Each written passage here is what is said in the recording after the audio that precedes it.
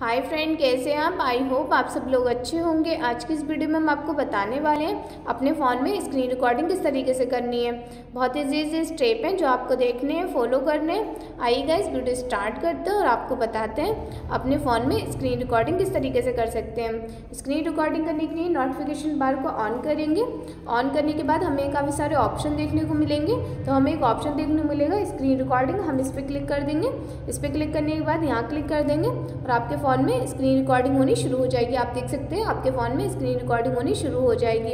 अगर आपको कोई भी आप अपना काम करेंगे, आपका सारा रिकॉर्ड होता रहेगा। आप, अगर आपको पाउस करना है, बंद करना है तो यहाँ पे क्लिक कर देंगे तो आपकी पाउस हो जाएगी, बंद हो जाएगी। अगर आपको ऑन करनी है, इस पर क्लिक कर देंगे तो आपकी ऑन हो जाएगी। इस तरीके से आप अपने फ़ोन में स्क्रीन रिकॉर्डिंग कर सकते हैं। अगर आपको सेव करनी है तो यहाँ क्लिक करेंगे और आपके फ़ोन में स्क्रीन रिकॉर्डिंग सेव हो जाएगी।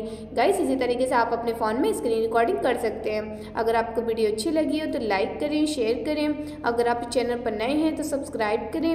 मिलते हैं आपसे किसी नेक्स्ट वीडियो में तब तक नहीं बाय एंड टेक केयर